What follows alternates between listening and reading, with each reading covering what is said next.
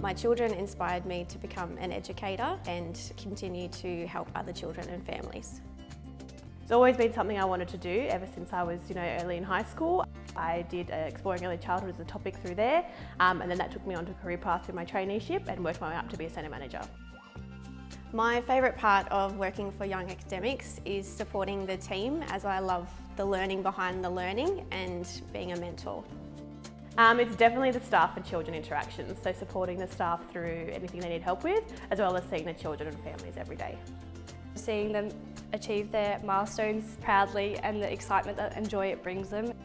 Seeing the smiles on their faces and when they share their experiences with their families. Every day is different and we get to learn something new every day. So rewarding at the end of the day and you're helping so many people. The culture at Young Academics is fun and inspiring. We have a diverse team who love getting together to share their ideas and perspectives. It's so positive. Um, everybody here is open to learning. Um, there's never sort of a no given. If you need help, it's always yes, or there's always so many people around that can help you.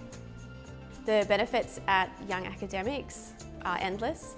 Most importantly, the professional development and growth for every educator.